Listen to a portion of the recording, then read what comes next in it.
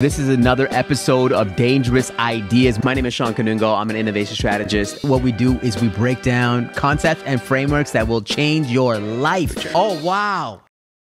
Hey, my name is Shawn Kanungo. This is another episode of Dangerous Ideas. In this podcast, what we do is we break down concepts and frameworks that will change your life, change your business, but most importantly, really change your life. We got a special guest in the building, and we are in a new building. We're here at the Art Gallery of Alberta. I just watched a magnificent presentation from best-selling author, uh, incredible thinker, Sam Demma. Sam, do you want to say hello to the audience? Honor to be here. Thank you so much for having me, Shawn, on Dangerous Ideas. Man, it was it was a trip watching you do your presentation for like an hour and a half. I, everybody in the presentation was locked in. I was locked in. Uh, just a beautiful storyteller, man. And I know in, in this pod, well, I'm not going to give your background, or this is not about the, it's about dangerous ideas at the end of the day. But like, where do you, like, your, your, your ability to storytell, where do you, where do you get this gift from? I don't know, man. I think for me, it comes from my repetition in the game. Like, yeah. I think about my experience as an athlete growing up. The only way you could improve was by kicking a ball 100 times. Right. I've done like 600 shows in the past five and a half years in schools and at events in tiny little venues for Rotary clubs when I was just getting started. Like, I think the reps help build this skill set that I share today. Man, it's crazy to think about how many events that you do in a year. Like, I look at your schedule and like I, I, I think your schedule is crazy. My schedule, I show people my schedule. They're like, this is they, they want to faint. I look at your schedule, I want to die. It's crazy, man. Like you're just back to back to back to back to, in schools, you know, across North America, across the world, um, man. And and you look fit, you look healthy. How do you how do you what are you eating? How do you train? Like when you have like this crazy tour. Yeah, man. Um, I follow the Shawn Kanungo diet, man. no, no, I'm, I'm, on the dad bod diet, man. No, you got something else. What What are you eating? Tell me what you're eating. You wake up in the morning. What are you doing? I have a coach. His name's Dylan. Dylan sends me a fitness plan. I eat what Dylan tells me to eat. Okay. Um, in a certain but you, dude, set of no, parameters. But you're, you're traveling. What do you mean? You can't. So I, I try to make sure I don't miss a meal. So I'll eat breakfast. I'll eat lunch. I'll eat dinner.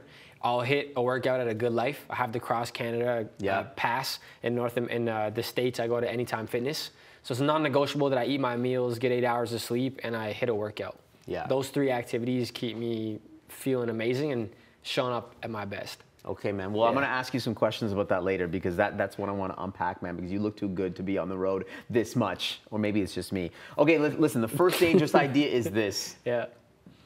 The Jordan mindset. Now, let me describe this. Michael Jordan was famous for anytime somebody would say something about him, the newspaper, the media, somebody would say something, he would remember that. He would stick it in his mind. And he would use that as fuel in the next game, and he would drop 30, 40, whatever on people's heads because he knew what they said. Mm. You told me something at dinner in December. I will remember this dinner forever you told me the story about how this agency, this guy came to you with this like big promise that you know, we're gonna we're gonna take you everywhere. We're gonna we're gonna give you everything.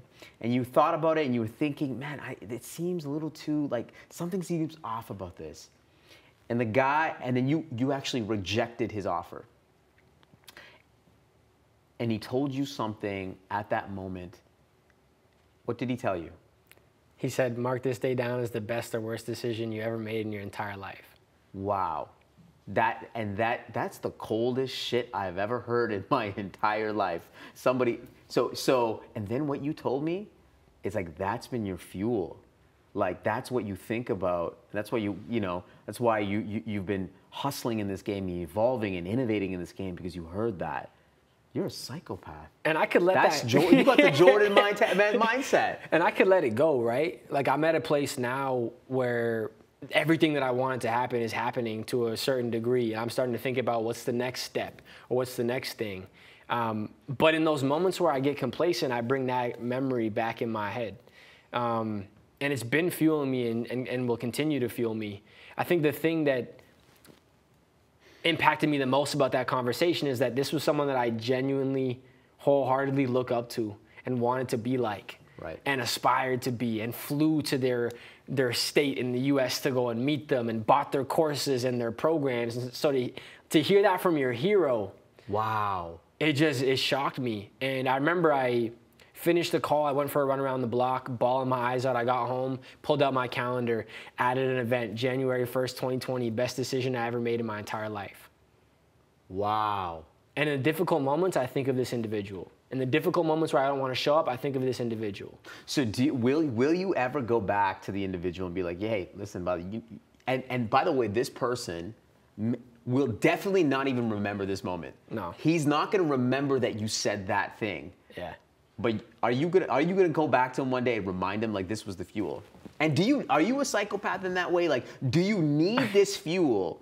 Do you need that? Do you need like a hater, a doubter, to to to, give you that so that you can go off and do incredible things? Do you need somebody to do No, I don't. I don't need it. It's not necessary. Because Jordan needed it. That's the Jordan mindset. I Yep. think he needed somebody to like hit at him so that he could like achieve greatness. I think for me, the thing that fuels me more than a hater than this situation is the first dream I had as a young person and not being able to bring it to life due to injuries uh, with athletics. Yeah. And the fall apart of that dream fuels everything that I am today.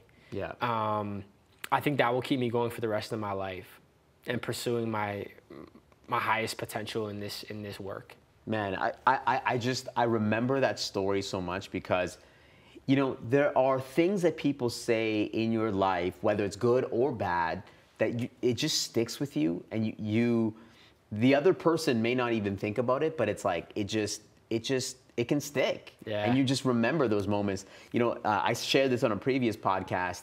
Um, it, it, it's this idea that um, you know, just just sharing your raw emotions about you know somebody, and you talk about this a lot. Just the ability to like, in the moment, like.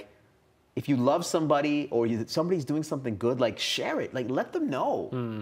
And you have no idea how much that can help their lives. Like it could change their entire trajectory. On one of my last pods, I talked about Jerry Seinfeld. He like one of his friends was like, "Hey, I think I, I I think you could do this," and that fueled him for so many years. Um, I don't know if you. I- I don't know if that's happened in your life where somebody just said something like, Sam, you like, man, you're really a gifted storyteller. You're a great speaker. And, and that was your fuel. You've done that, man.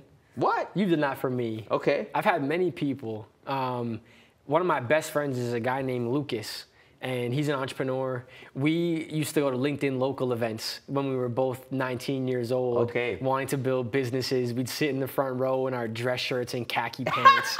We'd raise our hands first, ask questions, even if we didn't know what the hell we were That's asking about. hey, that's LinkedIn energy. That's good. that's good LinkedIn energy. You sit in the front row, you put up your hand, you wear a dress shirt. That's LinkedIn energy. Hey, didn't you see that post recently? What's that? Guy was on one knee proposing to his wife, and he's like, "Here's a proposing to my wife. Taught me about B2B sales." Yeah, I did see that. But you know what? You know what? I gotta, I gotta, I see a lot of, see, it's funny because um, I, I always think that that's like fake. Yeah. Because there's, there's actually a new role, which is like LinkedIn trolls. They just Ah. create like the cringiest stuff and then they put it on Twitter because people on Twitter and TikTok hate LinkedIn. Hmm. But anyways, that, that's just funny. So, so yeah, LinkedIn local event. Is this, was this put on by Swish, by the way? It was put on by Swish. Okay, man, I love Swish actually, man. Hey, he actually, I actually put a video up him t- of him today. He was like, he was on this podcast. He's like, who's your favorite uh, uh, speaker of all time? He's like Shawn Kanungo. I was like, shit.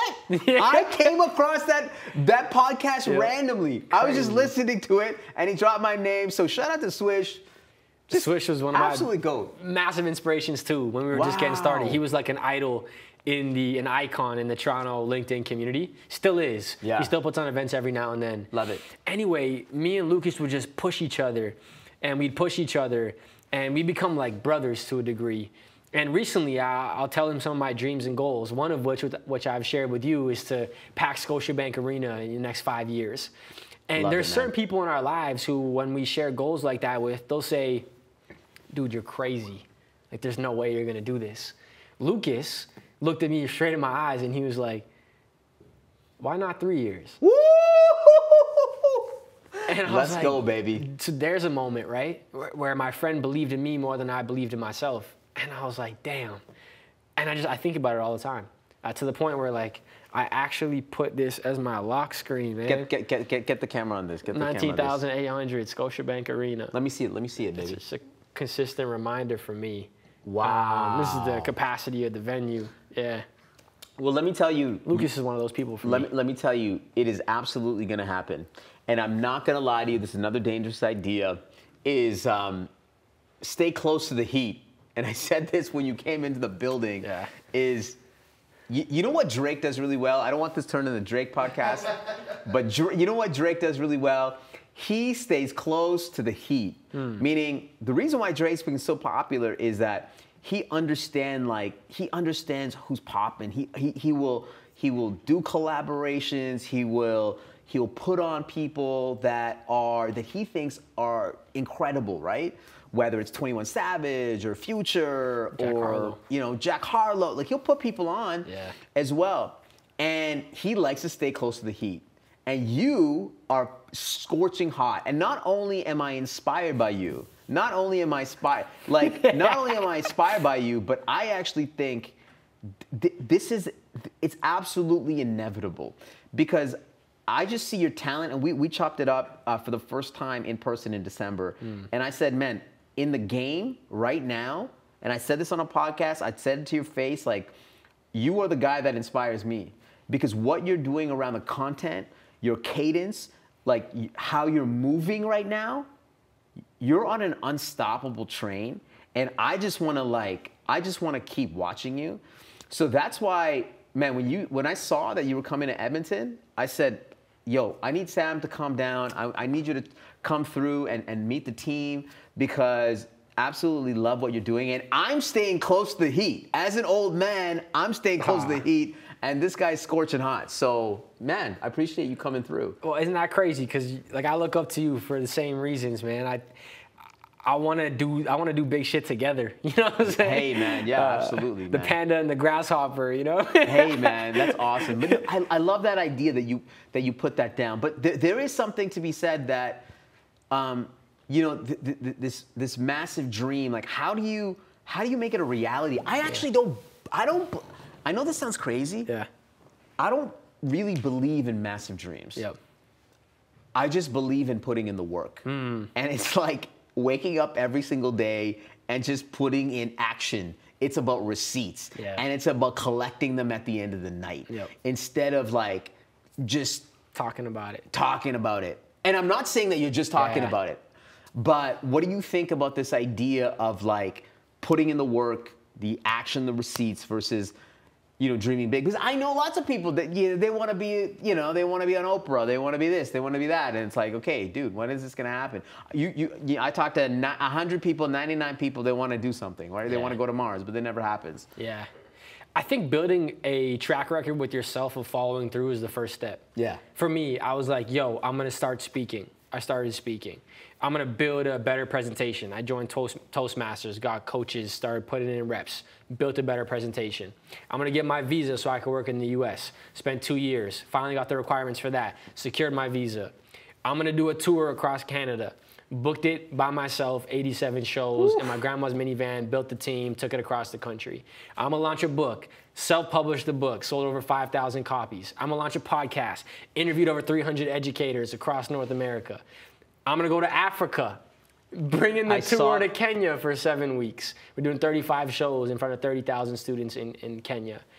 And so I built this Talk your shit, baby. yeah, thank you. Come on. I feel like I've built this. Um, Yeah, you keep going, and I believe I built it. this record. of- That's I'm, why I'm I gonna tell you first, and then I'm gonna show you.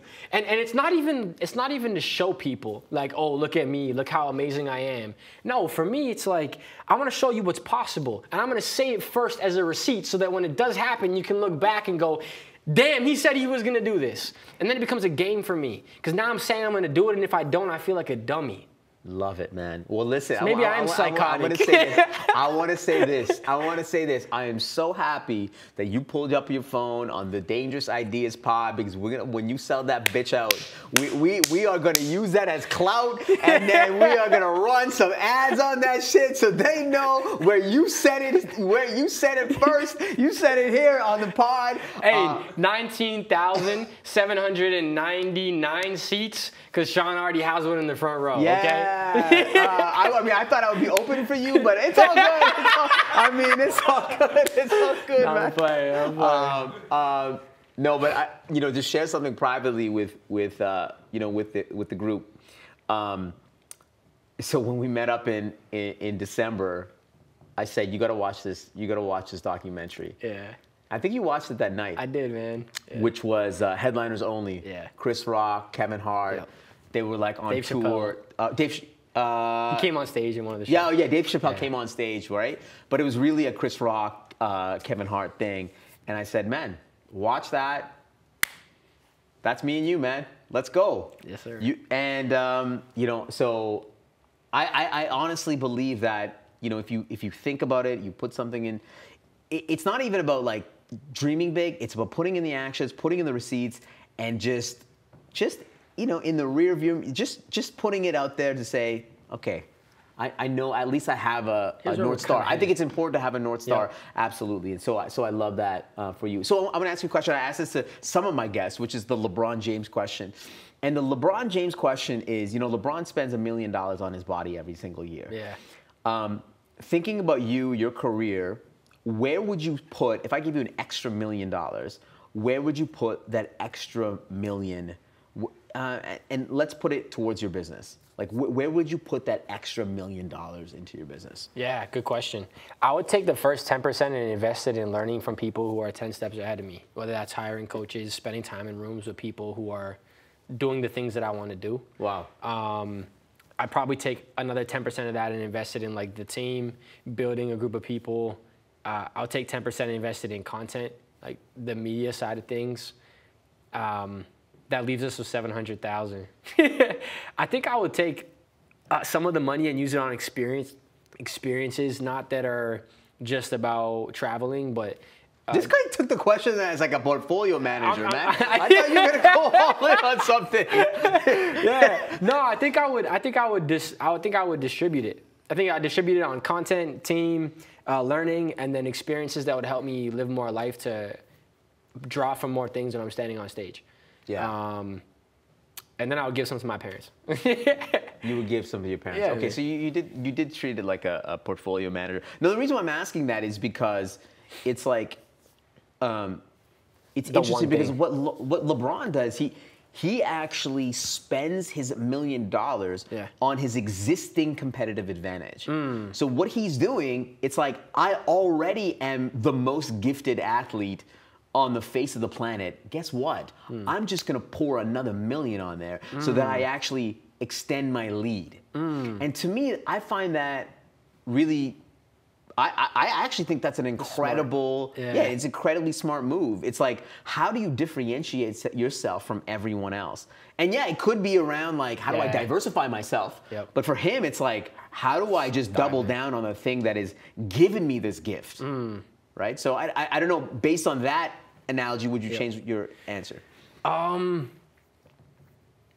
Or are you still in the process of like, like I, you know, to me, you, you, you, you, you, you are like, it's funny because you, watching you, it's like, it looks like you've been like decades in the game, you know, in terms of storytelling and just how gifted you are as a performer. But you're still very young. So it's like, you have so much more to, like, I don't even, that's what I said right after the keynote, like, I don't even know what you're gonna do in 10 years. Like, I think- you're gonna be so scary. You're gonna add all these pieces, the, the, the, com- the comedy, the, the, the, the, yeah, just so many pieces. I think I haven't figured out the thing yet. To be transparent, like I, I, I am just now starting to take acting classes. Yeah. I'm just now starting to do stand-up comedy. Wow. I've been speaking for the past six years, so I'm trying to figure out like where all this ends up going. Yeah. Um, I think once I gain some more clarity around that, I'll know where to put the money. I'm also not afraid to invest. Like I, in my first year of business, we did like thirty thousand which is like by no means a successful business if you're supporting a family. And then I hired a coach for $28,000. My Wow. parents were like, You're giving some man $28,000? Yeah. And it was like the, all, all, all the money I made. Um, and then I hired him again two more years in a row. It changed my life. Wow. Like totally changed the trajectory of my pathway. So I think for me, the biggest bucket I would put money in is, on, is in myself. I don't Yeah. know exactly what it would look like. Yeah. I don't know if that's investing in content or pouring it into coaching or putting it behind marketing for big shows or hiring the team.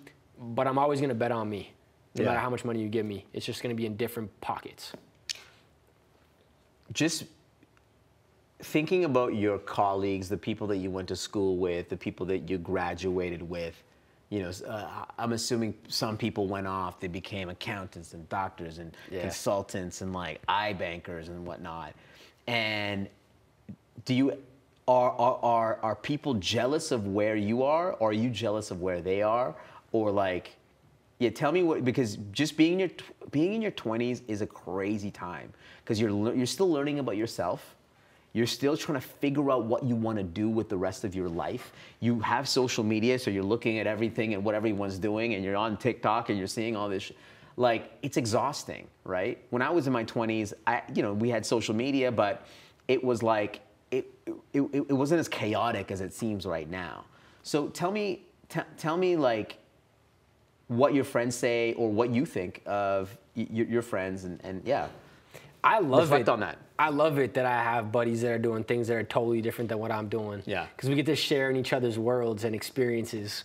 My friends are some of the most supportive people in my life. I, I think I'm also the most supportive of my friends and their goals and dreams. Uh, I think although we're traveling down different pathways, most of us, if, if they're in my group, share this hunger for building a better life, uh, for providing more for their friends or their future family, um, for having unique experiences. And so I think uh, all of us are happy for one another. Yeah. I wouldn't for a second go back and change my choices any way, shape, or What- form.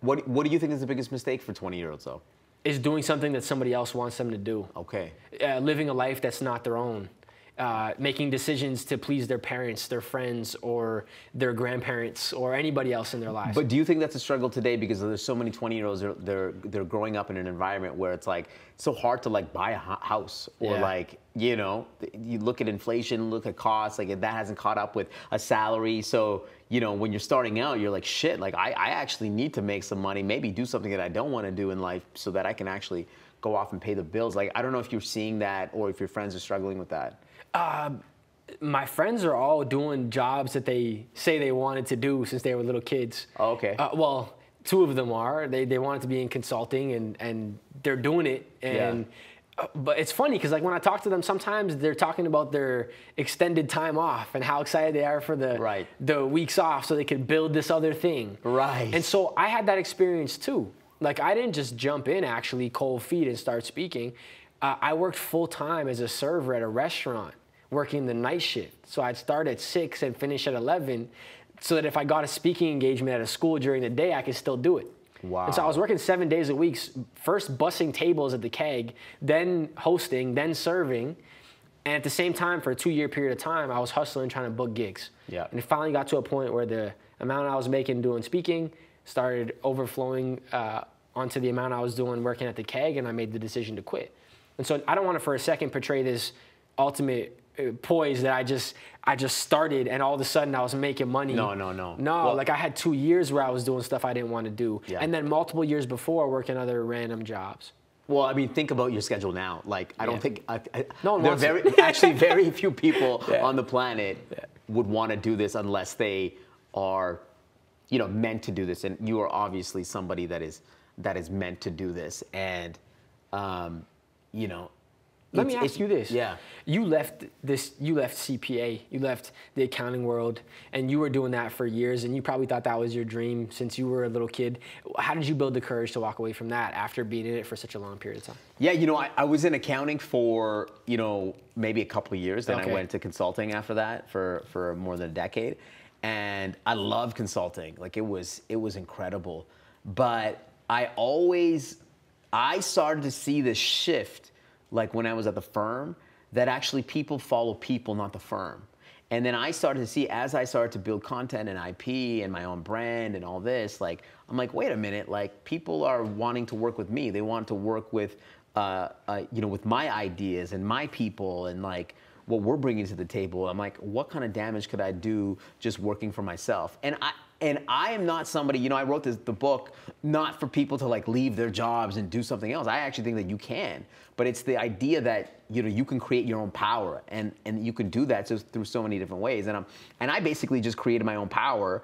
Um, by creating content and doing speeches and building incredible connections and, and, and showcasing my passion and ideas. And yeah, that, that's how I was able to make that shift. And it wasn't difficult for me because it's like I just led with my with my passion. I just led with you know the things that I love. And yeah, I haven't worked a day in my life in like decades. That's amazing, man. It's incredible, yeah, man. Yeah. Yeah. So give me, g- I want you know you you've been watching me from afar. I want I want I want I want you to give me some advice. Give me some advice. You look, Advice? yeah, you look at me as a as a as a as a older uh, scholar, as an older gentleman. T- give me some advice because, because I I'm here as Drake. I'm here as Drake. You know, you're you're you're you're you're the heat. Okay, so tell me where how like if you look at me from afar, tell me, give me some advice. What do you think I should be focusing on? I think you should make. Every, let's take some notes, guys. All right, let's take some notes. The heat is talking. Give me some advice. um, I feel underqualified giving you no, advice, man. No, you got it. You got the, the Riz walk number one. We gotta, we gotta, we gotta improve the Riz walk. Yep. yep. Okay, Uh, number two. Number two, um, we kind of both struggle with this, but I think you should up your clothing game. Yes. Yes. Yes. I think- wow. Deep cut, baby. Deep cut. Yeah, yeah. Why do you say that? Uh, I think we always expect keynote speakers to go on stage wearing a suit and a dress shirt and dress pants and nice shoes. And like, there's this cool opportunity to break the mold there and be bold in the way you show up in your clothes. Dude, fuck. I love this idea. You know, I've always like thought, man. You know, like you ever see like League Fits? You ever see League Fits? Like No. So League Fits is like this um, this basketball channel. Yeah. Where they basically, you know, before a game, all the NBA players they, they got they got they're going to the tunnel Yeah. and they're just walking. The camera's just there and they're walking and they're wearing something really drippy, right? Yeah. But I'm just wearing like just a suit. Yeah. So I want to. I Yo, but your suits are that. nice. You know what I'm saying? Like, they're nice suits. I just feel like if you showed up like a rock star, Yeah. people would be like, who is this dude guy? I, the, the the couple this week or yeah this this week last week on monday i like uh, on tuesday i came out with a uh, with a country hat I liked it. Yeah. I liked it. And the music too It was crazy. and the music came out to uh, some some country music so i'm trying i feel like I'm, I'm, I'm reaching for ideas here. no that's good. I think you're doing Con- give me some what about content? Because you are you are creating some incredible content. You're editing you're posting things up. Like that is you know i'm looking at what you're doing from a content perspective and we post a lot of content but like what you're doing and capturing the footage is incredible. So what's working for you Um, what you're doing right now, like capturing everything you can, um, and then I just drop it into a, a document and have someone else with their own perspectives chop up pieces they think other people would enjoy watching. Yeah. that's been working for me really well. When I think about innovation, I think about uh, I think about people that are doing bold things. Yeah. I also think about kids. I think kids are very innovative and they have unique ideas. I think you could do a cool series like interviewing little kids about what they think are innovative ideas. i like that Um, i like that I think there could be something there unique. Sometimes they say the most bold, outrageous things.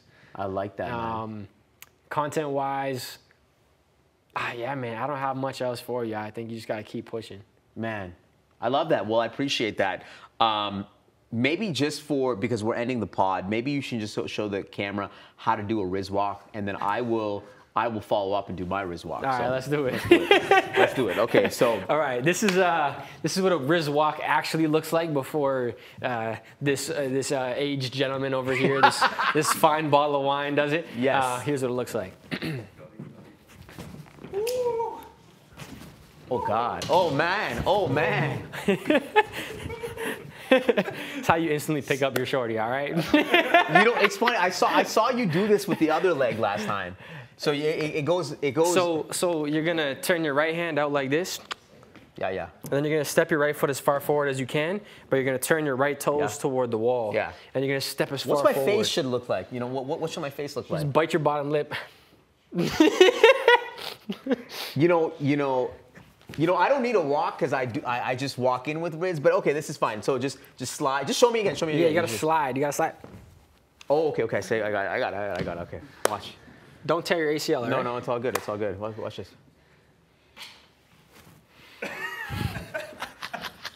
What's up, baby?